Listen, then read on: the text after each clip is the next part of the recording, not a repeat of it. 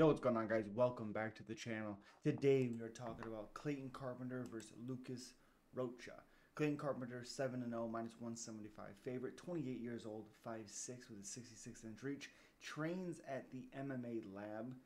Fighting Lucas Rocha, like I said, he's 17 and 1, plus 145 underdog, 24 years old, 5'3 with a 64 inch reach, 3 inch in height for Clayton Carpenter with also a 2 inch reach advantage.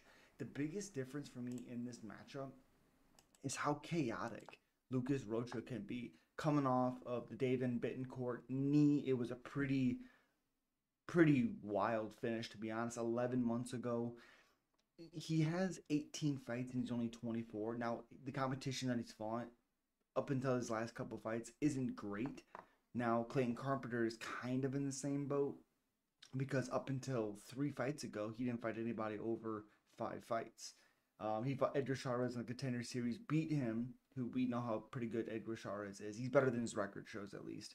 And then beat uh, Joe, uh, jo- Jan Camilo Ronderos by rear naked choke a year and a half, a little over a year and a half ago. So we haven't seen him in a long time.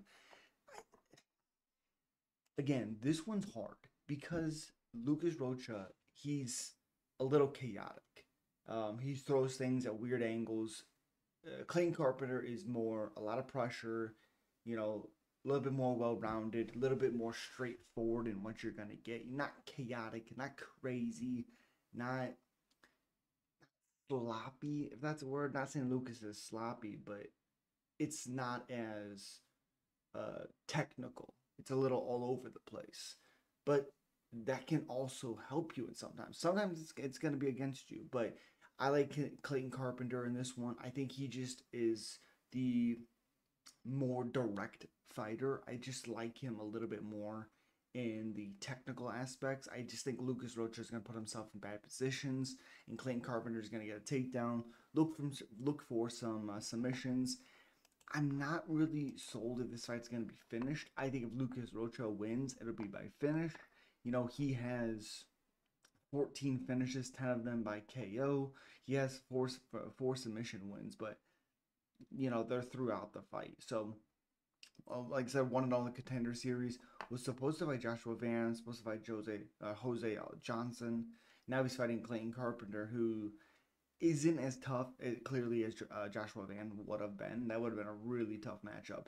But also, I think would have give Van a lot of issues. You've seen what Charles Johnson was able to do somewhere around the same thing where um same kind of style. styles kind of awkward weird i don't know if he would have the same uh, obviously same uh just same output or same uh outcome as jo- uh, charles johnson but you know same type of thing he was finished back in 2019 by alan gabriel he was uh, KO'd in round number one. The guy was 11 and 4.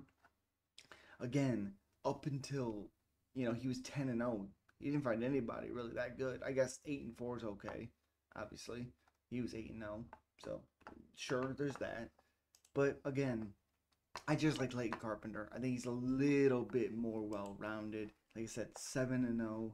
He has five finishes, two decision wins.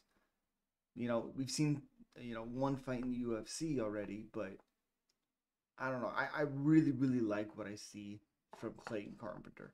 And as always, guys, subscribe, like, comment. Let me know who you are picking. See you at the next one. Peace.